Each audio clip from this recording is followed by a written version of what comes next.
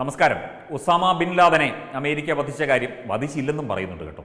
വധിച്ചു എന്ന് തന്നെയാണ് നമുക്കറിയാൻ സാധിക്കുന്നത്. എന്തായാലും ബിൻ ലാദന്റെ പിൻഗാമികൾ ഇപ്പോഴും സജീവമായുണ്ട്. പക്ഷേ അമേരിക്കയ്ക്ക് അനുകൂലമായിട്ടാണ് ഒസാമ ബിൻ ലാദൻ എന്ന കൊടും ഭീകരന്റെ അൽ ഖ്വയ്ദയുടെ തലവനായിരുന്ന ആ ഭീകരന്റെ പിൻഗാമികളും ബന്ധുക്കളുമൊക്കെ എന്നുള്ളതാണ് ഏറ്റവും നമുക്ക് സത്യം പറഞ്ഞു കഴിഞ്ഞാൽ അവിശ്വസനീയമായ ചില വാർത്തകൾ.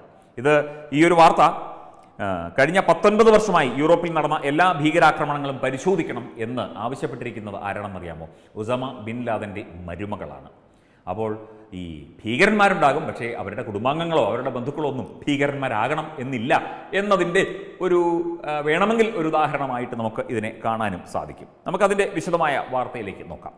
അമേരിക്കൻ പ്രസിഡന്റ് തെരഞ്ഞെടുപ്പിൽ ഡൊണാൾഡ് ട്രംപിന് പൂർണ പിന്തുണയുമായി കൊല്ലപ്പെട്ട കൊടുംഭീകരൻ ഒസാമ ബിൻ ലാദന്റെ മരുമകൾ നൂർ ബിൻ ലാദൻ. ഈ സ്ത്രീയുടെ പേര് നൂർ ബിൻ ലദൻ എന്നാണ്. ഒരു മാധ്യമത്തിന് നൽകിയ അഭിമുഖത്തിലാണ് നൂർ ഈ ഒരു കാര്യം പറഞ്ഞിരിക്കുന്നത് എന്നാണ് അന്താരാഷ്ട്ര മാധ്യമങ്ങൾ റിപ്പോർട്ട് ചെയ്യുന്നത്. ട്രംപ് വിജയിച്ചില്ലെങ്കിൽ അമേരിക്കയിൽ നയൻ ഇലവൻ മോഡൽ ഭീകരാക്രമണത്തിന് സാധ്യത ഏറെയാണ് എന്ന മുന്നറിയിപ്പ് കൂടി നൂർ നൽകുന്നുണ്ട്. ഒബാമയുടെ ഭരണത്തിൽ ലോകമെമ്പാടും ഐ എസ് ഭീകരർ വലിയ തോതിൽ ശക്തി പ്രാപിച്ചിരുന്നു. ജോ ബൈഡൻ പ്രസിഡന്റായാലും ഇതുതന്നെയാകും നടക്കുക. ഇസ്ലാമിക തീവ്രവാദമാണ് ഇപ്പോൾ ലോകം നേരിടുന്ന ഏറ്റവും പ്രധാനപ്പെട്ട ഭീഷണി. അതിനെ വേരോടെ ഇല്ലാതാക്കിയാൽ മാത്രമേ ലോകത്ത് സമാധാനമുണ്ടാകൂ. ഇസ്ലാമിക തീവ്രവാദത്തെ നേരിടുന്നതിൽ ഡൊണാൾഡ് ട്രംപ് മികച്ച രീതിയിലാണ് പ്രവർത്തിക്കുന്നതെന്നും നൂർ ബിൻ ലാദൻ വ്യക്തമാക്കി. ഇതിപ്പോൾ ഡെമോക്രാറ്റിക് പാർട്ടിയും റിപ്പബ്ലിക്കൻ പാർട്ടിയും തമ്മിലുള്ള വടംവലിയായിട്ട് മാത്രം ഈ പ്രസ്താവനയെ കാണേണ്ടതില്ല. അവർ ഒരു ജനറൽ ആയിട്ടുള്ള കാര്യം. ഇപ്പോൾ ട്രംപിന്റെ കാര്യത്തിലായാലും ഐ എസ് ഭീകരർ ഒബാമയുടെ ഭരണകാലത്ത് ലോകത്തിന്റെ പല ഭാഗങ്ങളിലും ഉണ്ടായിരുന്നു എന്നുള്ളത് സത്യമാണ്. കാരണം ഐ എസ് വളർന്നു വന്നത് തന്നെ ഒബാമ ഭരണത്തിൽ ഇരിക്കുമ്പോഴാണ് അമേരിക്കയിൽ ഭരണത്തിൽ ഇരിക്കുമ്പോഴാണ്. അപ്പോൾ വളരെ വിമർശനാത്മകമായിട്ട് ഇതിനെ ഒരു രാഷ്ട്രീയ വിമർശനമായിട്ടോ ഒരു സാമൂഹ്യ വിമർശനമായിട്ടോ കണ്ടാൽ മതി. പക്ഷേ മതഭീകരവാദത്തിനെതിരെയാണ് ഈ നൂർ ബിൻ ലാദൻ എന്ന ഒസാമ ബിൻ ലാദന്റെ മരുമകൾ സംസാരിക്കുന്നത് എന്നുള്ളതാണ് ഏറ്റവും പ്രാധാന്യത്തോടെ നമ്മൾ ചിന്തിക്കേണ്ട കാര്യം. തന്റെ പേര് നൂർ ബിൻ ലാദൻ എന്നായിട്ട് കൂടി അമേരിക്കക്കാരിൽ നിന്ന് ഒരു മോശം അനുഭവം പോലും തനിക്കുണ്ടായിട്ടില്ല. മറിച്ച് അവരുടെ ദയയും കരുതലും തന്നെ അതിശയിപ്പിച്ചെന്നും അവർ പറയുന്നു. മാതാപിതാക്കളുടെ വിവാഹമോചനത്തിന് ശേഷം നൂർ ബിൻ ലദനും രണ്ട് സഹോദരിമാരായ വഫയും നജിയും സ്വിറ്റ്സർലൻഡിലാണ് വളർന്നത്. നൂർ ബിൻ ലദന്റെ പിതാവ് എസ് എം ബിൻ ലാദിൻ തീവ്രവാദ നേതാവ് ഒസ ഒസാമ ബിൻ ലാദന്റെ ജ്യേഷ്ഠ സഹോദരനാണ്. അമ്മ സ്വിസ് എഴുത്തുകാരി ഖാർലൻ ഡഫോർ.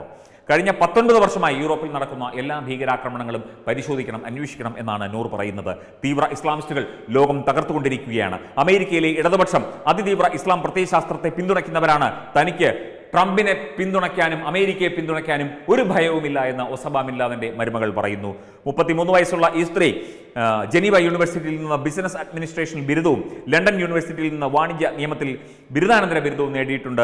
അതുപോലെ തന്നെ നിരവധി സ്ഥാപനങ്ങളിൽ ജോലി ചെയ്തിട്ടുണ്ട്. നിരവധി ഡിഗ്രികളും ഡിഗ്രികളുമൊക്കെ നേടിയിട്ടുണ്ട് നൂർ ബിൻ ലാദൻ. ഇസ്ലാമിക ഭീകരവാദത്തിനെതിരായ ഒരു ഭീകരവാദിയുടെ കൊടും ഭീകരന്റെ മരുമകളുടെ വാദം നമുക്കത്ര ചെറുതായി കാണാൻ പറ്റുന്നില്ല. മാത്രമല്ല അവരുടെ ട്വീറ്റുമുണ്ട്. Osama bin Laden endorsed Biden to see America fail Osama bin ലാദന്റെ Osama bin Laden endorsed Biden to see America fail I endorse President Trump to see America succeed എന്ന് പറഞ്ഞ അവരുടെ ഒരു ട്വീറ്റ് അവരുടെ ഈ വീഡിയോയ്ക്കൊപ്പം ഒരു ട്വീറ്റ് ഇട്ടിട്ടുണ്ട്. ഒസാമ ബിൻ ലാദൻ ബൈഡനെ അതായത് ബൈഡനെ America തകർക്കാനായി നിയോഗിക്കപ്പെട്ട ഒരാളാക്കി മാറ്റി. അപ്പോൾ ഈ വ്യക്തി ഈ നൂർ ബിൻ ലദൻ ചെയ്യുന്നത് President Trump to see America succeed അമേരിക്കയുടെ വിജയത്തിലേക്ക് എത്തുവാനായി ട്രംപിനെ ഞാൻ പിന്തുണയ്ക്കുന്നു എന്ന അർത്ഥം വരുന്ന ട്വീറ്റും കാര്യങ്ങളും അവരുടെ വീഡിയോയും ഒക്കെ തന്നെ ഇപ്പോൾ ട്വിറ്ററിൽ വൈറായി വൈറലായിക്കൊണ്ടിരിക്കുകയാണ്. ഈ ഒരവസ്ഥയിൽ ലോക ഭീകരവാദത്തിനെതിരെ ലോകൈകമായി ഭീകരവാദത്തിന്റെ അപ്പോസ്തലൻ എന്നറിയപ്പെടുന്ന ഒരു വ്യക്തിയുടെ മരുമകളുടെ ഈ ട്വീറ്റും കാര്യങ്ങളും ഒക്കെ തന്നെ ഇപ്പോൾ ലോകത്തെല്ലായിടത്തും വൈറലായി ചർച്ചയായിക്കൊണ്ടിരിക്കുകയാണ്. ശരിക്കും മതഭീകരവാദത്തെ ഇസ്ലാമിസ്റ്റ് ഇസ്ലാമിക തീവ്രവാദത്തെ ഒക്കെ തന്നെ അടിച്ചമർത്തേണ്ട കാലഘട്ടം അതിക്രമിച്ചിരിക്കുന്നു എന്ന ഒരു സാമാന്യ തത്വശാസ്ത്രത്തിലേക്ക് കൂടിയാണ് നൂർ ബിൻ ലാദന്റെ ഈ ട്വീറ്റും അഭിപ്രായ പ്രകടനങ്ങളും ഒക്കെ എത്തുന്നത്. ഞാൻ ആദ്യം സൂചിപ്പിച്ചതുപോലെ ഇതൊന്നും സാധാരണഗതിയിൽ ഒരു രാഷ്ട്രീയമായി ഡെമോക്രാറ്റിക് റിപ്പബ്ലിക് രാഷ്ട്രീയത്തിന്റെ പേരിൽ മാത്രം നടത്തുന്ന കാര്യങ്ങളല്ല എന്നുള്ള കാര്യമാണ് ഇതിനകത്ത് ഏറെ ശ്രദ്ധേയം. ഇതൊക്കെ പൊതുസമൂഹം വായിക്കണം പൊതുസമൂഹം ഇതിനെക്കുറിച്ചൊക്കെ ചിന്തിക്കണം.